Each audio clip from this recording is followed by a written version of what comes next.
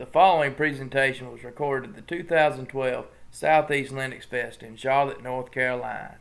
It is licensed under a Creative Commons license. For more information about the Southeast Linux Fest, visit www.southeastlinuxfest.org.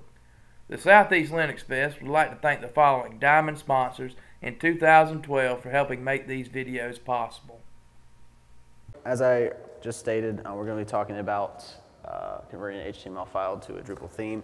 This is a introductory class largely, um, or session class, whatever you want to call it. I'm really going to be starting from the, the bare bones basics of theming Drupal. Um, really going to be starting from scratch. So if you know a little bit already, um, you might be a little bit bored. But I really wanted to start really at the foundation of, you know, even where the theme lives and all that.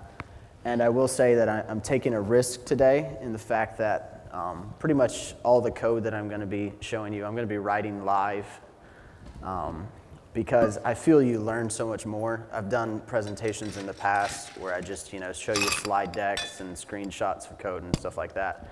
But I feel like I learned so much more by actually seeing someone do it in an editor, going into the interface, turning stuff on. So um, that's the way I decided to do it today. So if something blows up, um, beyond my control. Um, one quick thing to note is, uh, aside from the code that I'll be writing, um, there's a few places where I just made Git branches um, to basically section off different places in my code. I can't talk about Git today, but I basically did that as a quick way to like jump forward and not have to, you know, remember a few few things. Um, uh, my name is Thomas Lattimore. I'm a front-end developer for Classic Graphics. Uh, we're a company based here in Charlotte, uh, do a wide variety of things. Really, it's hard to explain what we do, but the easiest way to narrow it down is we manage large sets of data and uh, do things with that. And that's what we use Drupal for. Drupal is our primary platform for content management on the website of things. Um, we've been using it since about four, five, four, six, I believe. So we were actually a pretty early adopter for the size sites we were building at the time. Um, and I live and breathe in the theme layer of Drupal pretty much when you narrow it down. Uh, if you have any questions later on, you can stalk me on Twitter at tlattimore. And uh, there's my Drupal.org user profile if you want to follow any of the projects uh, that I contribute to. I, I, try and really contribute back to Drupal.org. So there's some themes there and other projects that I'm involved in. And if you want to find out about the company that I work for, it's knowclassic.com. That is knowclassic.com. Uh, let's get started. Oh, so today, um, uh, well, step back. Uh, so the requirements to get started in a theme, the very first thing that you have to have is a .info file. And the dot .info file lives in your theme directory and it's prefixed by the name of your theme. So it's, if your, name, if your theme name was foo theme, then it'd be foo.info. And that is technically all that is required to start with a theme. But the theme doesn't actually have any use because if you don't add CSS to that, then you basically just have an, an unstyled theme that doesn't do any good at all. And that's just, so the theme inf info file is just meta information. It basically tells Drupal about your theme, um, what style sheets are included with it, what JavaScript files are there, how many regions you have, whatnot. Um, technically all you need. And then really to make it any use, you have to have a CSS file. And uh, kind of the assumptions I'm making today is that, of course, you have a text editor, working Drupal install, and then I'm actually going to be using Devel module, which if you're a developer, I highly recommend uh, you have that module installed. It's very useful for different utilities, and I'll uh, demo that later, kind of how I'm using it. And then also a basic understanding of HTML, CSS, and PHP. Um, you don't have to have a lot of, you know, a, a wide range knowledge of PHP to really get started in Drupal theming. Um, but I recommend that you at least learn the basics of it so that when you're tinkering around in the theme layer, um, for one thing, you don't do things that are bad, but then also it's, it's just less intimidating when you are comfortable writing the language. And uh, that's it. let's get started. So who here has um, made a custom theme in Drupal before? Can I see a show of hands? Who's written a custom theme from bare bones? Finished it. Yes, finished it, finished it. Production, let's even say that. You wrote one that went in production. All right, this is a great crowd then. Who here has downloaded one off of Drupal.org and installed it? All right, more hands, more hands. See classic people back there? Why are y'all so far away? Y'all way back there. All right, so I basically just have a, um, a Drupal site that just now exploded with a bunch of errors because of a problem I didn't fix earlier. But it's just basically a naked um, Drupal install. Um, and we're actually going to set Bartik to default, or else those errors won't go away. Um, can everybody see that okay? Do I need to zoom in much? Just a little bit? Okay. I was doing something at a Drupal user group earlier this week, and they were like, oh, I can't see it. And I'd already gotten like several minutes into the talk. So everybody see that good? Kind of see the interface buttons along the top. So kn- y'all know what I'm clicking on. Are we good? Okay. Um, so here we have just a basic Drupal 7 install. Um, I hope everybody in here is familiar with that. If not, there's lots of online documentation on how to get started, get that thing installed. And um, that's basically the point that we're starting from today. And um, I'm, I'm kind of a command line junkie, so if you see me pop in and out of the command line and, and you don't know what I'm doing, just kind of ignore it, because it's most likely that I'm doing um, Git related stuff. Um, so here we basically have the HTML file that we're going to be converting today. Um, it's nothing, nothing good to look at by any means. I just threw it together um, as I was making this presentation because I wanted the focus to be more on just clean HTML and not really um, what the content was or anything like that, but just show you the process of converting you know, this into a working Drupal theme. Um, so I'm actually going to open up, uh, what directory is that? Go one lower. So here is our Drupal install, basically. Here's where the modules folder is. This is the root of this site right here. Oh. Um, and any theme that we customize or download off of Drupal.org needs to live inside the sites all themes folder. And the only exception to that is when you do a multi-site install, then if you have a custom theme for that site, then you'll, uh, the theme will reside inside the directory for that site. Um, if you're not familiar with multi-site, don't worry about it because um, it doesn't matter. Anything that you need to do um, custom or even contributed needs to go needs to live inside this themes folder here. And the reason is is because when you update Drupal, it blows away all the files that live outside of this sites folder. Literally, it, it just writes over them when you update to a new version. So anything you customize would be blown away. If you, uh, you can drop it in here, in, inside the themes folder down here. It'll actually work fine. But the next time you go to update, it's gone. All your work will be gone. And you hope that you have it under version control. You use version control very heavily. Um, so right here is, is our um, HTML file that we have. Nothing special there. Um, I already showed it to you. And the first thing that we need to do is we, ooh, I'm going to tip that over, is we actually need to write that .info file, that meta information I told you about earlier. And I'm actually just going to check out that step. Uh, ignore this if you don't understand Git. And here's our project inside Sublime. And you'll see that I just checked out Git and ignore that. Just act like I just wrote this. And here's basically all the information that we really need to get started custom theming. And I really do mean all the information.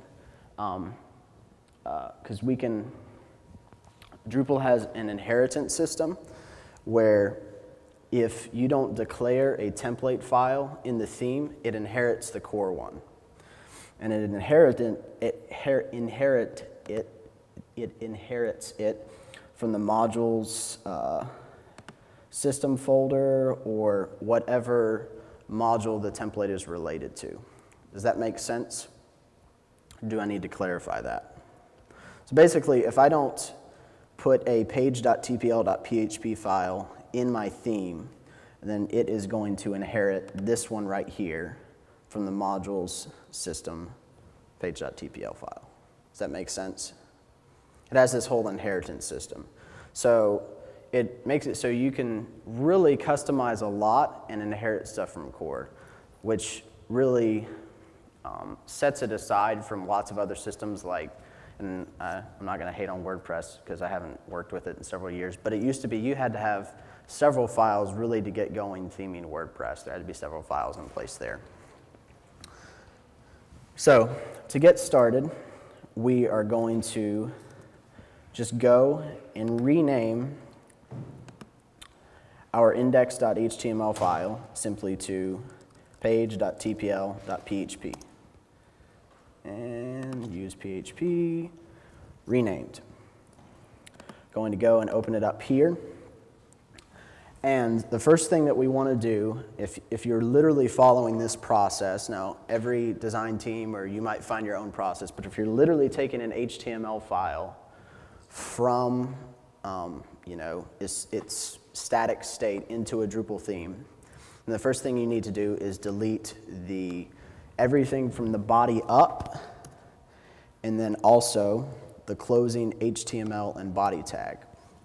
Because um, Drupal by default has an html.tpl.php file that covers all this stuff. And if we don't declare that file name in our theme, then it's going to inherit that one. And this is where you start getting into the Drupal side of things. So basically, our page.tpl file is going to be put in this area right here. Everything else, it's going to inherit. So all the style sheets are going to be printed out there. All the scripts are going to be printed out there and body classes and all that. Does that make sense? Any questions? Feel free to ask any questions, by the way. Um, I don't mind interactivity and stuff during, you know, sessions. I feel that we learn a whole lot more that way. Um, so the first thing that we need to do, uh, and I actually want to close that out because I was editing the wrong file. So want to, as I already said, we want to delete those tags and then save it. And then the next thing we want to do is actually um, tell Drupal where um, the messages area is. And uh, we're going to do that by, uh, we want to print it out in the main content. And the messages area is just a place that Drupal has to print out arbitrary messages to send to the user. So if you ever have saved a node and it said this node 32 or whatever the title was was saved here. That's printed out in the messages area. And we're going to use this basically to um, help to send uh, variables to that we can print out. And I'll, I'll show that to you here in a second. And um, after we do that, we can go over to the appearance section.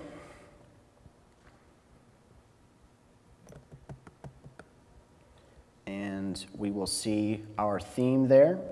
Um, no screenshot simply because I didn't add one in there. Um, we're going to enable and set it to default and go home and hope nothing blew up. And you'll see now we technically have a working um, theme.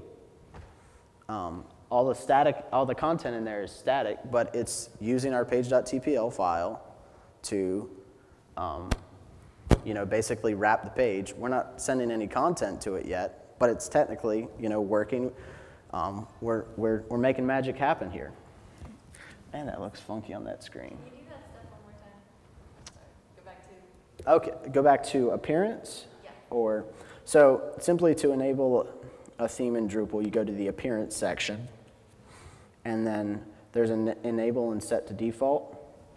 And then before that, we had our HTML file here. We renamed it to page.tpl.php, and we're now inheriting that file as basically the wrapper for our theme. Is that good? All right. Um,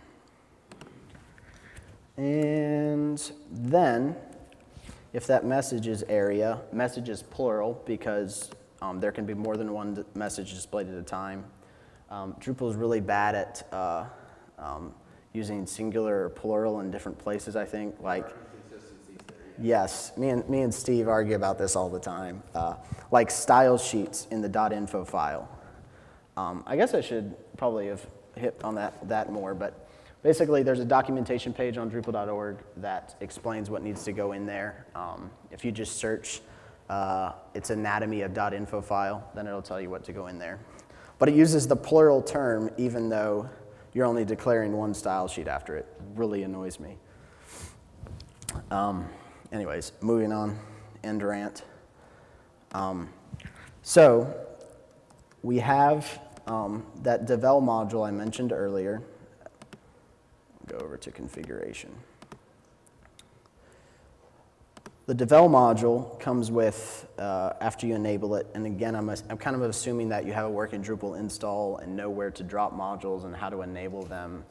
And if not, I'll be glad to point you to some resources after the session. Um, but I just have a limited amount of time today, so um, uh, can't, can't cover all of that. But this has a um, wide array of things it can do. There's a content generation module that's built in that can generate dummy content for a site. And I'm actually going to use the re rebuild theme registry on every page. Drupal loves to cache things, and what this basically does is during our theme development process, it says, all right, Drupal, don't hold on to the files that I'm messing with. But you need to make sure that you first disable that setting, but also disable this module when, it, when your site goes into production because it's a big performance hitter and also a security risk because it has an execute PHP block built in. For those of you that know what that means, that basically means that there's a block on the site that you could execute PHP in and completely ruin the site, like totally ruin it. You could, uh, you know, insert an SQL query and just ob obliterate it in whatever way you chose. So we're using that setting, and then also um, this module has some utility functions built in.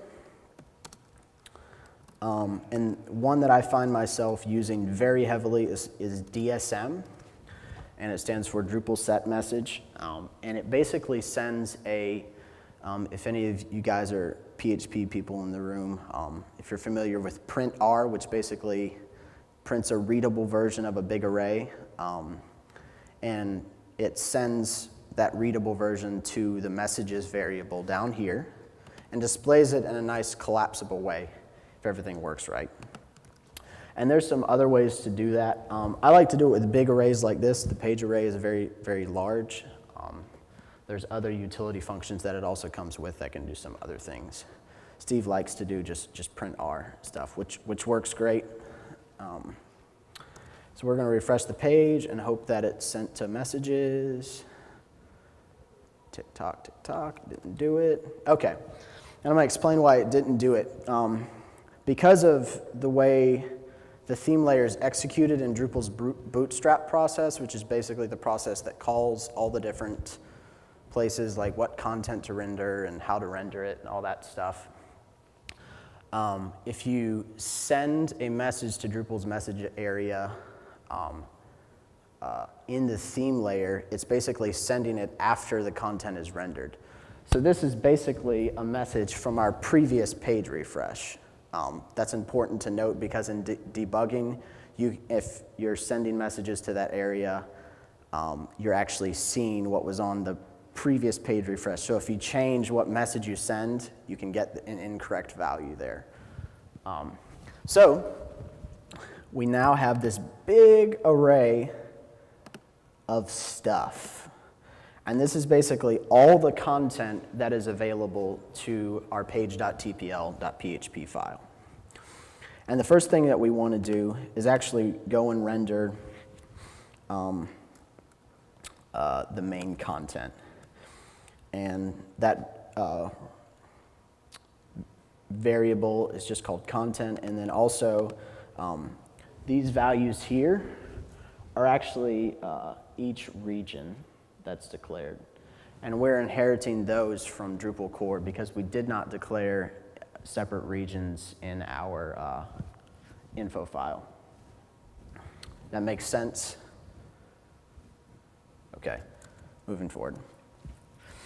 Um, so now that we know what variable we need to, rent, uh, to print out,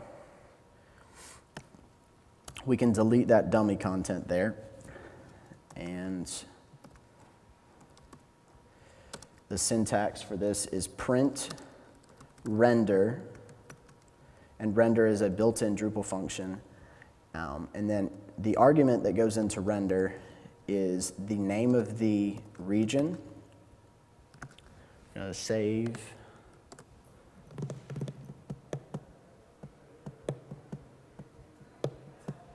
And you'll see all that's gone, and we should be, why is it not showing up?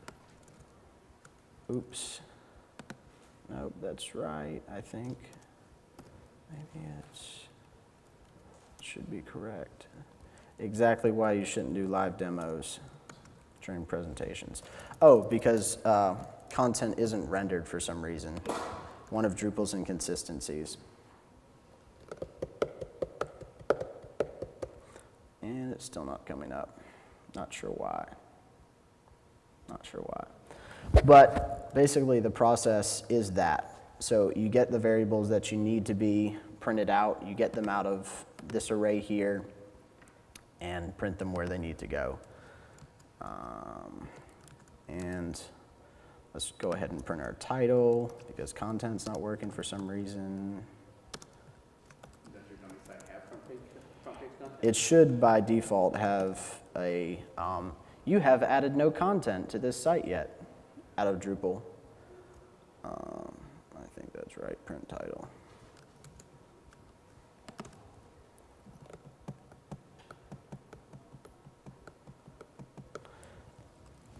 Undefined variable. So when you run into problems like this, the best thing to do is go into System, um, folder and actually open up the page.tpl file and then look and see what variables, oh, that's why. Because first you have to call, so, sorry, getting ahead of myself. Um, so we were trying to render just content, and we actually need to first call the page array, and then the content uh, key out of that array. I'm trying to use proper terms here. Steve will fuss at me if I don't. So we're going to do render, inside render, page, inside page,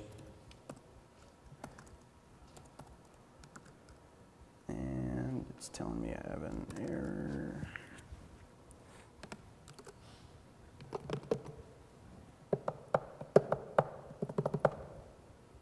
And there's our content. So now we have a working site title, main content, and then we're actually going to wrap our site title because before we had our site title wrapped in an H2. And then we can go up here and delete all the content from in the sidebar.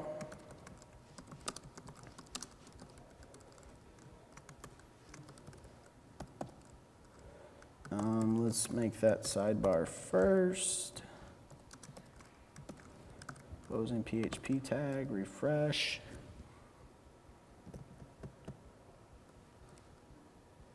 And there we have it, sidebar content rendered. And just to reiterate, this right here is this. Does everyone get that? I don't want that to go over anyone's heads because that's basically it's an array of data and we're looking for certain values in it, which is that argument. Is, is everyone understanding that? Because I know that's kind of a Go ahead. You know, why is it that your sidebar and content are rendered page and the title is not? That's a great question. That is because um, Drupal is schizophrenic. Um, I, I'm in all honesty, and uh, uh, uh, Ken mentioned earlier the Twig initiative, uh, basically trying to get Twig templating system into core. This is part of the reason that people are doing it, is because themers, when we got this render stuff in Drupal 7, let me tell you, Drupal 6, it was a lot, lot rougher. Ren- having render available is really nice. But a few years down the road, we're like, this is terrible because there's so much inconsistency, just as you asked. So basically, you have to work around and, yeah, you have to go to, you know, system page.tpl and figure out, you know, what needs to be rendered out of there. So next, uh, let's go and, um, since I'm in page.tpl, I'll just copy it out of here. Um, let's get rid of our static menu now. Go back into our custom page.tpl.php file, delete that entire unordered list, and we have this other very inconsistent array. Why don't we just print out main menu? No, we have to have this big array, which is theme, links, system, main menu. Me and Steve argue about this all the time. We're like, what? Why, why can't it just stay consistent?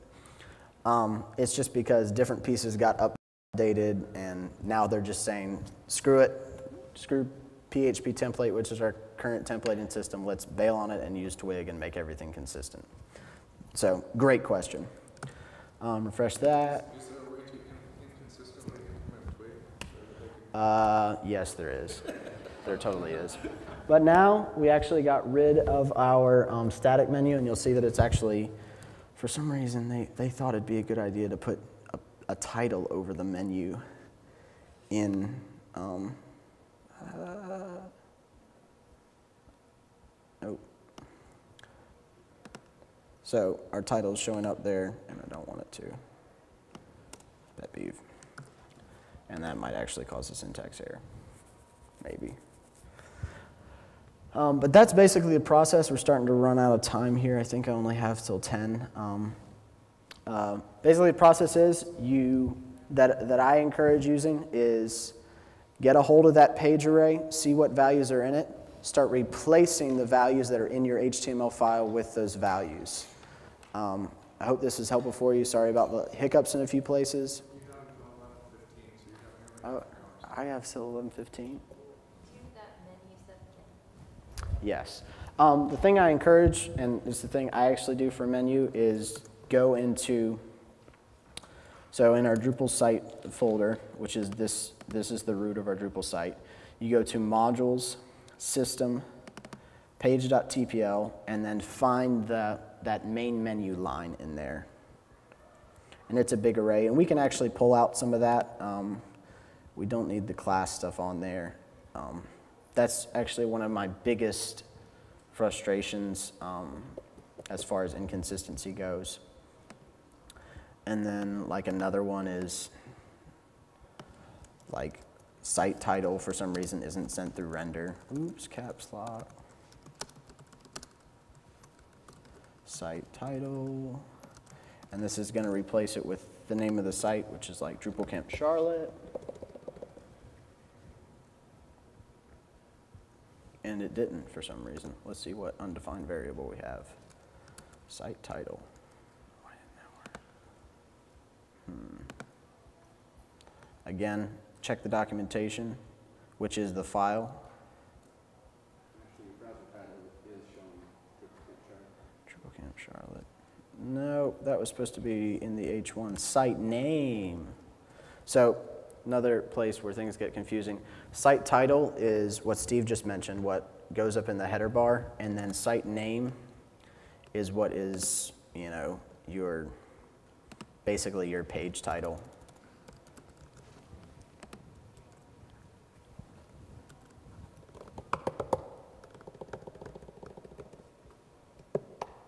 Sorry, can you tell me one more time where you're getting that Oh, okay, okay. file? I can't, I won't Okay. Yes. So you go into the site root, wherever your, your site lives, and then you go into modules, system, page.tpl.php.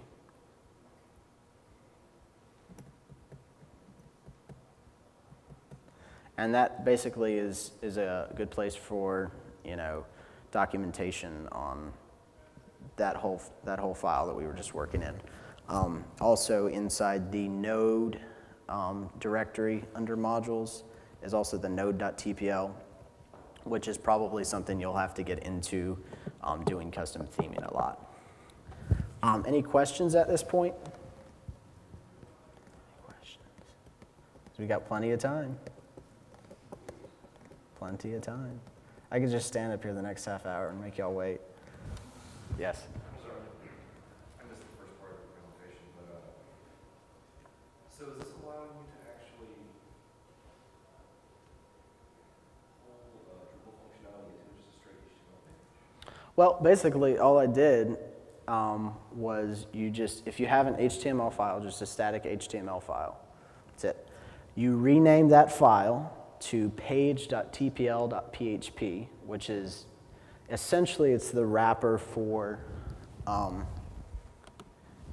everything inside here. Everything that's visible, page.tpl wraps it up in, in, in essence.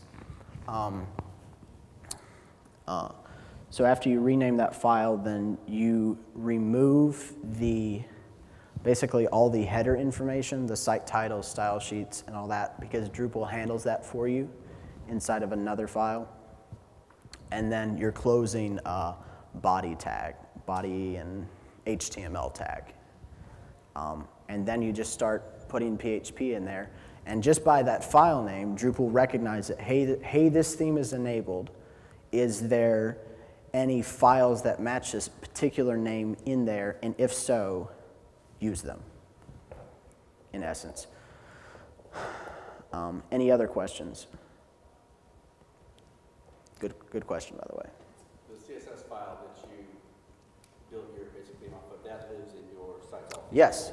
So um, everything that we ever ever touch needs to always live inside the site's all themes folder. So right here, here's our two CSS files, one layout, one style.css, and that is declared um, in our uh, .info file, um, which is an, another part. If, if you went at the beginning of the session, in order to tell Drupal about your theme period, you have to have a .info file, which is just prefixed by the name of your theme or the machine name of your theme. Um, and that basically is just a file that tells Drupal um, all about different attributes of your theme. Uh, there's lots of stuff that can go in there. Say, uh, in the Sites All Themes folder, inside your, your custom theme folder, that is. Um, and any, uh, um, say if we had a scripts file, yes, plural. Um, don't know why it's plural, but uh, I don't know that I look at it. It's not a key value pair, is it? Yeah, you're right. But if you're only declaring one item, we'll argue about that another day, Steve. Um, so whatever, whenever you're linking to files in your .info though, whether it's scripts or style sheets, um, the path is relative to your info file. So Drupal won't automatically, you know, say, if you just, if I just had layout.css in here, it won't search that theme folder automatically and find it. You actually have to list the path to it. Important thing to note. Um, any other questions? I feel like we're in a QA session now. I got lots of time left. Go ahead. This is, this was almost like hijacking the session, but uh, if you are, instead of going from a static HTML from, if you're starting from a downloaded theme and customizing it, what are some of the gotchas to watch out for? do a base thing, first off. So if I, um, uh, we can actually do that. because I actually have a theme.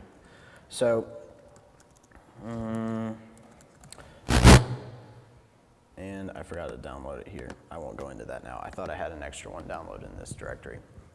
Um, so, important thing to note, um, especially if you're new to theming, uh, hide, um, is that whenever you download a theme from Drupal.org, um, I have people argue with me over this. They're like, well, you don't really need to, but whenever you download a theme from Drupal.org, always, always, always make a base theme of that. And um, basically, in short, um, now there's lots of areas that this doesn't actually play out, but basically, to make a base theme of another theme, you just put that attribute in your .info file.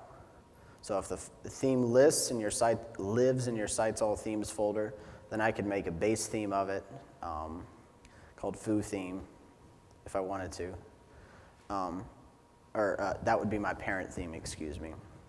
And the reason why you want to actually do that, um, so question is, you know, you download a theme from Drupal.org, it's awesome, but there's a few things that you want to change about it.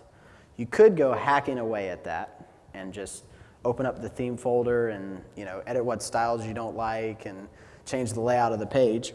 But if it's a well-maintained theme, then that means eventually it's going to get upgrades, which means that you will lose all your changes. Gets back to the same thing with updating Drupal core. Don't hack Drupal core because when it gets updated, you lose all your changes. So Drupal has this really cool theme called uh, really cool thing called um, being able to sub-theme. And what a subtheme basically does, it is allow, allows you to inherit um, nearly all attributes of the parent theme. Um, that includes style sheets, um, regions, template files, JavaScript, excuse me. And the exceptions to that are there's a few places where it won't inherit some custom uh, PHP functions that live in template.php because uh, of the way Drupal's hook system works. Um, does that answer your question, or was that just like a whole rabbit trail that I? Yeah. Yeah, yeah. So if you download a theme from Drupal.org, don't hack it. Um, uh, uh, make a sub theme simply, basically, and there's a doc on, on Drupal.org about this, but basically, in short, it's you just declare in your custom theme that you want to have a base theme of whatever your parent theme is.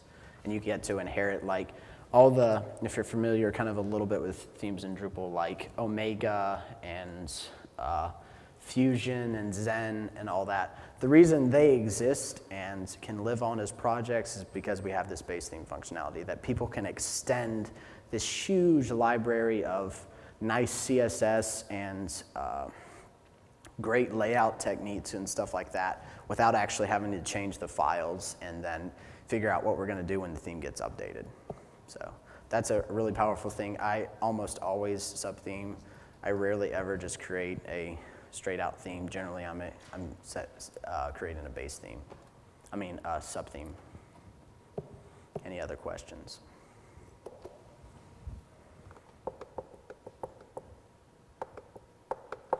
Any other questions? I have a free book if someone wants to ask a question.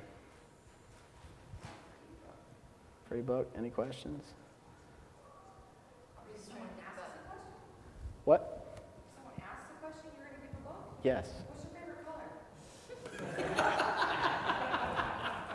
Based on his theme, I'd say gray. Um, my favorite color is blue, but that doesn't count, Hannah. So how do you pick a good, because basically your child theme that you're making hmm is, is just changing attributes of, Yeah, basically overriding it. yeah. in essence. And that also works because of, I don't want to get too detailed into this, because of the way CSS cascading works, because uh, files that are declared after the previous ones in CSS can override attributes. So say if there's like a color or something like that in a theme that you want to override, you can override that, you know, the color on that element um, later on in the cascade by doing child theming. That makes sense, or did that go? yeah. I'm just Yeah. trying to get, like, how do you pick, like, so it's like. You've asked some good questions. Here's a free book. Um, so you can keep going if you want. I didn't mean to like you know stop your question, but you've asked some good questions. So sorry, Hannah. Yeah. Um, so basically, you're yes, you're overriding stuff. So say there's a there's a layout that you want to alter, um, and or or any attributes in the page.tpl file of your parent theme. All you have to do is place the, your customized one in your child theme, and it'll override it. It just knows to. The only, again, there's a few exceptions to that, and it seems like they've improved it a little bit in Drupal 7 because I haven't run into it as much, where um, custom functions that are declared um, aren't inherited, and again, that has to do with the way Drupal's hook system works and whether or not those functions are executed. So, so I think we're done, unless there's any more questions. Um, go ahead. Quick one, what, what would be one or two recommended resources for further study? Um, Drupal.org. If you don't have a Drupal.org user account, go create one now. Now. Now. Go do it now. Um, Drupal.org, uh, Mustard Seed Media Podcast actually has a really good screencast on doing exactly what I did today. But it's in Drupal 6. But the principles still apply. Um, if you uh, think back on today and are like, man, I don't know what that guy was talking about. I think it's a cool concept. I just don't know. Uh, check out Mustard Seed Media's podcast, and he basically walks through in like 10 minutes, you know, what I just took 45 minutes of y'all's time to talk about. Uh, just basically walks through, you know, he just goes and downloads an HTML file off the internet and turns it into a Drupal theme. So, yes. Uh, it's mustardseedmedia.com, I believe. He has actually some great podcasts on many different topics regarding Drupal. Uh, great guy. Is it's uh, uh, his name is Bob Christenson, um, and he's been doing Drupal screencasts for years now. Doesn't do them as much anymore, unfortunately. Yeah, that's a great resource, Drupal.org, and um, then it really starts to dry up after that.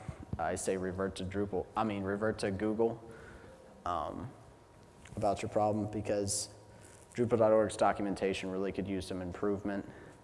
And if you want to improve it, join the documentation team. So, well, thanks a lot for coming, and I uh, hope you got something out of it. If you have any questions, uh, feel free to ask me after the session or hit me up on Twitter as T. Lattimore. Afterwards, um, next session coming up is Brent Dunn. He's going to be walking through some amazing site building stuff. Um, he's going to show tons of just jam-packed stuff in his session. Uh, he's told me a lot about it, and sounds really good. So, yeah. If you're interested in site building stuff or you're new to Drupal, that would be one to attend. Another one I encourage people that are new to Drupal is uh, uh, David Norman's one at, I believe, 130. Um, and I think he calls it the Drupal co-op or something like that, but it's basically all about how the Drupal community functions and how you can get involved. And this guy uh, is more qualified to talk on that topic than most people in the world. Um, his Drupal.org user ID is longer than most everybody in this room's combined. That may be a bit of a stretch, but I encourage new people to definitely check out that session and then the one right after me with Brent. Thanks a lot.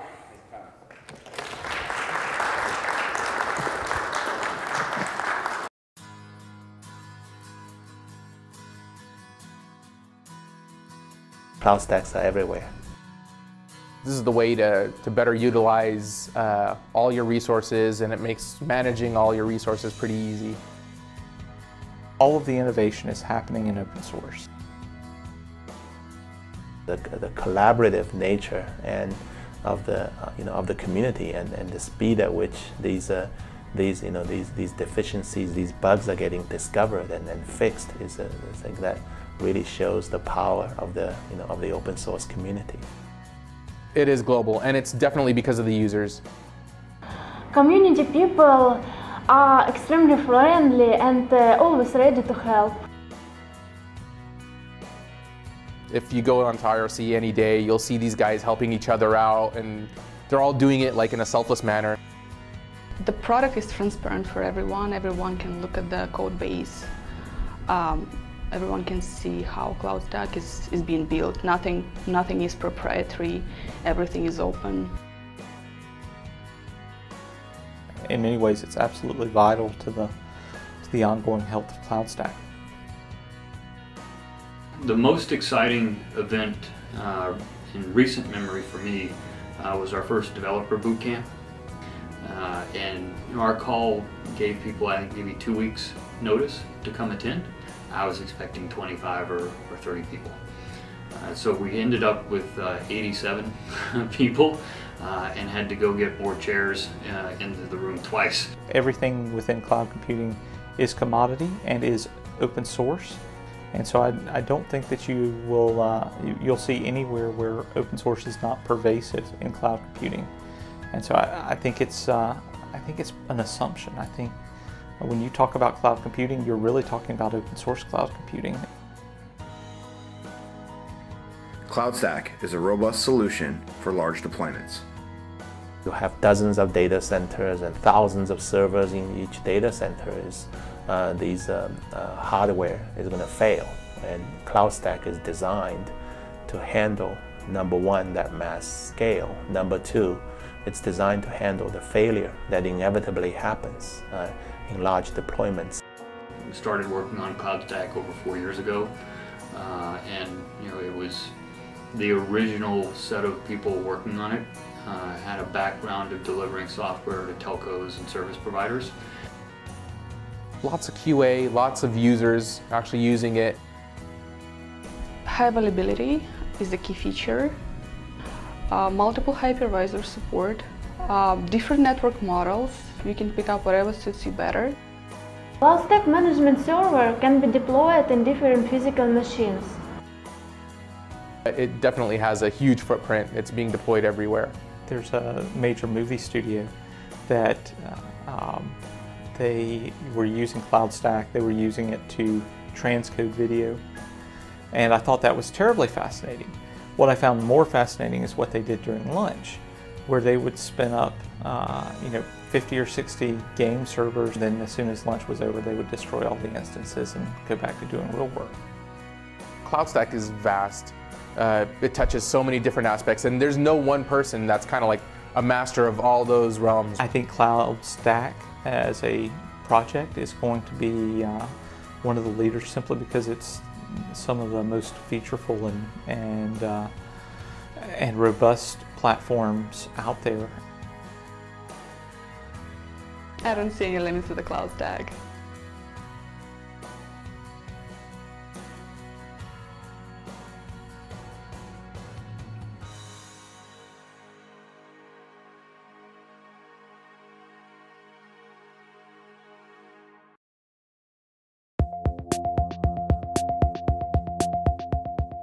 When we created Asterisk over a decade ago, we could not have imagined that Asterisk would not only become the most widely adopted open source communication software on the planet, but that it would impact the entire industry in the way that it has. Today, Asterisk has found its way into more than 170 countries and virtually every Fortune 1000 company.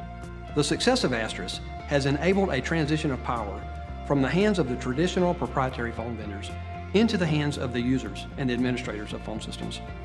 Using this power, our customers have created all sorts of business-changing applications, from small office phone systems to mission-critical call centers to international carrier networks. In fact, there's even an entire country whose communications infrastructure runs on Asterisk. Digium has always been about creating technology that expands communications capabilities in ways that we could never have imagined. And that's part of what's game-changing about Digium. Today, we're doing it again, this time by introducing a new family of HDIP phones that extends control of the user all the way to the desktop. The launch of these new products represents the next phase in Digium's history of innovation. These are the first and only IP phones designed to fully leverage the power of Asterisk. When we first discussed our expectations for building a family of phones for use with Asterisk, our requirements were pretty simple. We asked the team to build the phones such that they were easy to install, integrate, provision, and use. I think you'll soon agree our engineers have delivered on that goal. User feedback is validating that when it comes to operation with Asterisk-based systems, including our own SwitchVox-based product, these are the easiest to use, best integrated, most interoperable products on the market today. The Digium family of phones will initially include three IP desk phones, uniquely designed to complement any Asterisk or SwitchVox-based solution. These phones are different for a number of reasons. First, they're exclusively designed for use with Asterisk. Secondly, we've made it really easy to auto-discover and provision the phones. Next, we've made it easy for the phones to access information inside of Asterisk, allowing tight coupling between an application and the phone. Additionally, we've created an applications engine that allows users and developers to create and run their own apps on the phone. And finally, we've done all of this at a very compelling price point. At Digium, we're always thinking of ways to give our customers the best value in business phone systems and also give them the power to create their own solutions for any communications challenge. We'll continue to push the boundaries, not only to make Asterisk cooler, faster, and more technologically feature-rich, but to make Asterisk and VoIP communications even easier. And together, we'll change the way the world communicates. Again,